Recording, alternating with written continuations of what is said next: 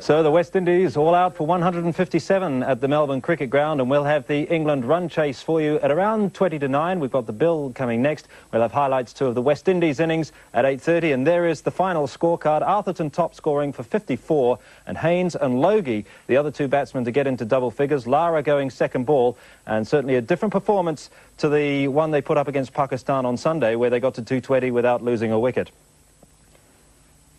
As far as the England bowling figures are concerned, well, you heard John Morrison say it just before the break. They all bowled well. Phil Tufnell going for four and over as the only spinner. They used the five seamers and excellent figures all round. DeFreitas three for 34 and Chris Lewis, my word, he bowled well, three for 30. Well, thanks for being with us on One World of Sport for this first innings of the match at the MCG. We'll be back in half an hour after the bill for England's chase.